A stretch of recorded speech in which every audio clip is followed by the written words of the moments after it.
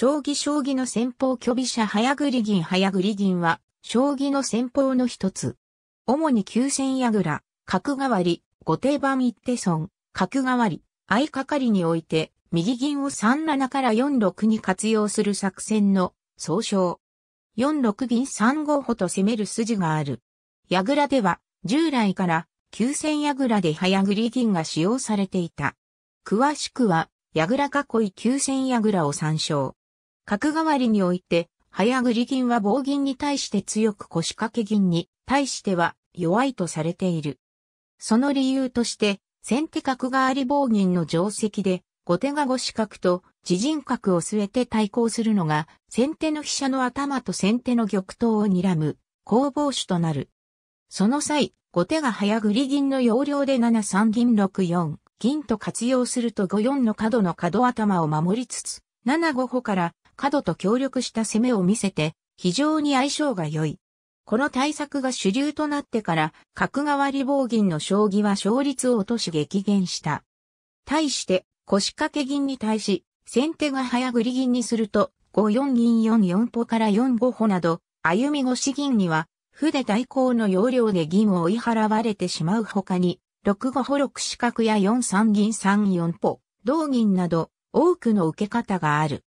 このため図の早繰り銀の局面のように素早い出足が必要となるが、この局面から3五同歩同銀の局面について、イメージと読みの将棋間にではまず7、9玉と9、4歩の交換が必要としている。またこの局面では後手からすぐに8六歩同歩8五歩の次伏せ目も念頭に入れておく必要もあり、先手も以下に4歩同歩、同銀同銀同飛に3歩、2八飛8六歩2八3歩同飛8四歩、同飛6六角で以下8二飛ならば1一角成8七歩正、同金同飛成8八八項となれば良い展開であるとしている。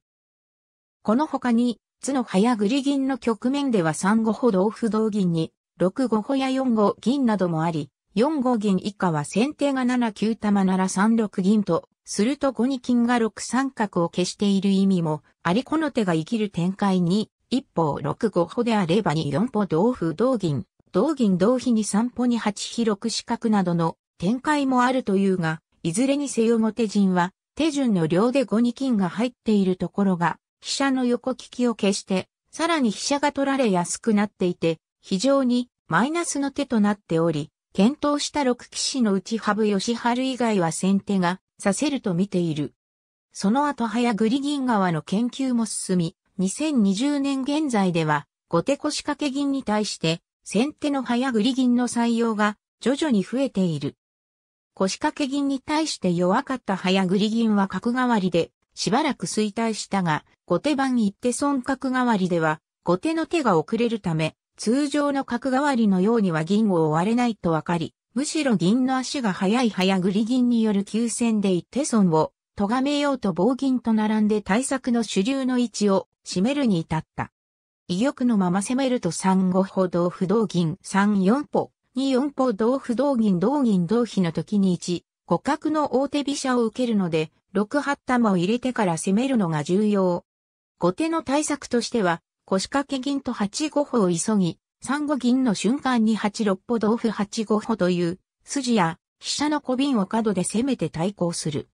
相掛かりにおいては浮き飛車から早繰り銀にする作戦を中原誠が得意とし、中原流早繰り銀と呼ばれている。3筋を突き捨ててから4、6銀と上がるのが特徴。左辺への転戦も見せるなど、攻め筋が広く主導権を握りやすい。